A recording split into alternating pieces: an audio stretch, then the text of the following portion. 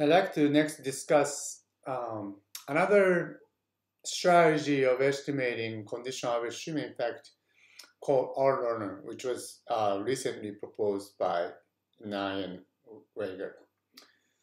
The assumption is the same as before, so we assume conditional on a set of observed covariates X, the treatment is independent of potential outcomes. And you know, as before, we assume that um, the overlap, so the propensity score pi of x is uh, bounded away from 0 and 1 for all x. Um, a motivating model for the potential outcomes is the following sort of uh, linear formulation.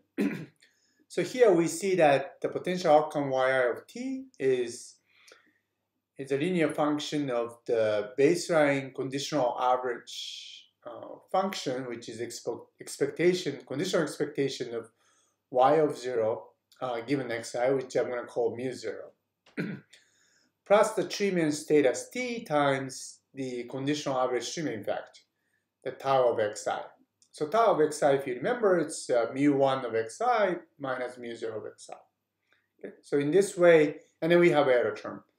In this way, we basically sort of decompose the potential outcome into uh, the sum of the uh, conditional expectation of baseline outcome y of 0 and the uh, CATE, um, depending on the treatment status. From this, we can write down the partial linear regression for residualized observed data. I say residualized because if you look at this equation, we compute the residual, residual of uh, outcome yi minus expected value of yi given xi. So that's basically the uh, regression of y given x. So you're subtracting uh, from the observed data the uh, mu of x regression function. Note that mu of x doesn't have a subscript of the treatment status because this is a regression function of the outcome given the covariates without the treatment, right? So you don't, it doesn't have a treatment uh, variable as a function. And then on the right hand side, you see that, uh, again, the residualized treatment, so Ti minus pi of xi, that's basically the treatment variable minus the propensity score. So it's a re residual for the propensity score. Okay? So essentially, you're regressing the residual for the outcome on the um, residual for the treatment. And um, the coefficient for that residualized treatment is, it turns out, conditional average treatment effect, tau of xi. So this is simple algebraic um, equality by noting the fact that the mu of xi is equal to mu 0 xi plus uh, pi xi times tau xi. Okay? So using that fact, we can rewrite, um, we can derive this partial linear regression for the observed data from the um, potential outcome model that's given above. Um, what's nice about this is that both are residualized, so they're they're orthogonal to each other. Um, so this orthogonalization really helps um, coming up with efficient estimator for the conditional average treatment effect. So the estimation proceeds uh, based on the cross validation, and the first you train the models using the machine learning models for the propensity score pi of x and mu of x. So remember the mu of x is the regression of y on x. Okay, so you're going to use some machine learning models um, to, to, to estimate these uh, using the cross validation. And then once you have cross validation, you basically have um, second level regression, which is the regressing the residualized outcome on the residualized treatment and characterizing, you know, using the tau of xi to characterize this tau function. Now, if the tau of xi is really complicated, you might have additional regularization term to to estimate because uh, the tau is a function of xi, so it could also be quite complicated function, in which case you need some regularization term. Um, so this is a very general um, procedure where you can use any machine learning models for pi of x and mu of x, um, as well as some kind of regularized um, machine learning method for tau of xi in the last step. Finally, let's consider individualized treatment rule or ITR.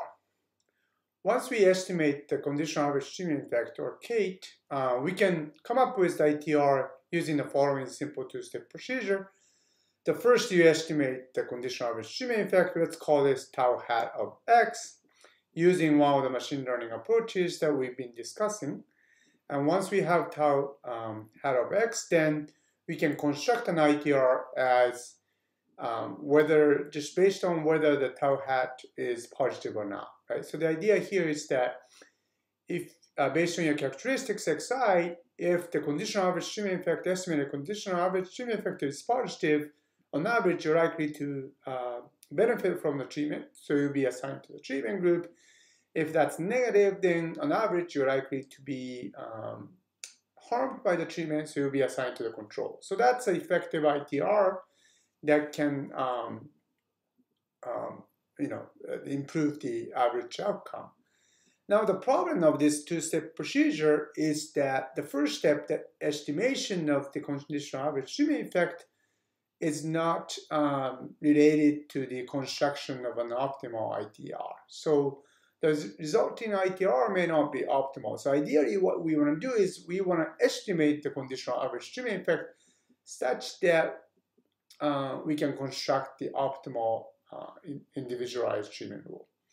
So that's the approach that was, um, that's called the outcome-weighted learning, um, was proposed by Zhao et al. in 2012. And here the idea is that we're going to regard the construction of ITR as the optimal classification problem. That is, we want to classify individualized um, based on the estimated conditional average treatment effect. The ones who have positive CATE should be assigned to the treatment group, and ones who have negative um, should be assigned to the uh, control group. So let's consider a randomized experiment for the sake of simplicity. So here we can assume that treatment is independent of the covariates x as well as the potential outcomes. Now we can think about the optimal ITR is the individualized treatment rule that maximizes average outcome under this rule, right? So the f of x is either 1 or 0, so y of f of xi means that outcome um, of unit i under the treatment rule f of xi. And we want to uh, come up with the procedure f, uh, ITRF, such that the average outcome is maximized under that rule. Now that's the same thing as um, minimizing the average outcome under the opposite of this ITR, right? So if we assign the treatment, um, if we if we do the opposite of the optimal ITR, that's one minus f of xi means that is assign a unit to the treatment group uh, when the ITR says assign to the control group, and if the ITR says assign to the treatment group, then assign the unit to the control group. So so do the opposite, right? If we minimize the average outcome under this opposite ITR, that's basically the same thing as getting the optimal ITR. Okay, so we can um, we can sort of uh, rephrase it as uh, maximizing the classification versus minimizing the misclassification. Okay. In other words, we can look at the average outcome from the experiment. We have a treated units who are according to the treatment rule F, um, according to that, they should be assigned to the control. But in the experiment, since it's randomly assigned, they happen to be treated. Okay, so we can try to minimize, we can try to come up with a rule uh, such that the average outcome of the treated units who are supposed to be control is minimized. Similarly, we can look at the control group and then look at the people who are supposed to be in the treatment group according to this ITR. And we try to come up with the ITR such that average outcome of those people, those misclassified people, are minimized. So that's basically the idea. Like let's minimize the average outcome of the misclassified individuals uh, in the treatment group and control group. And because it's in uh, it's it's a randomized experiment, we can actually we will have the mis, uh, misclassified individuals, and we can estimate their average outcome. So this turns out to be the same thing as the classification problem, and right can write it as the following equation. So you are you, you're coming up with a tau, that's a conditional average treatment effect, such that the misclassified average outcome is minimized. So it's easy to show that the above equation uh, over minimizing over f is the same as this for the bottom equation where I am using AI, which is um, following the convention in the classification literature, takes the value of negative 1 for control and 1 for the treated. Okay, so it's just to transform the treatment variable. Um, treatment variable usually takes 0 and 1. I transform it to negative 1, 1. Um, and uh, pi is just a proportion of the treated. And so the denominator uh, is equal to pi if ai equal 1, um, if it's equal to 1 minus pi if ai is uh, negative 1.